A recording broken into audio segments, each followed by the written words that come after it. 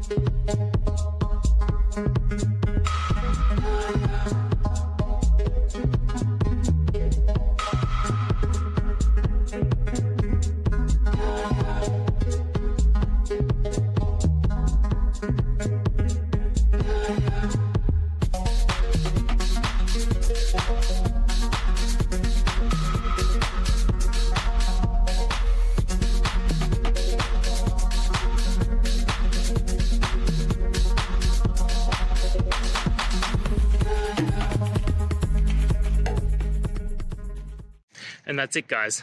I hope the video helped find the resolution that you're looking for and you got the answer and worked your way through. If it did, please hit subscribe. I'd really appreciate it.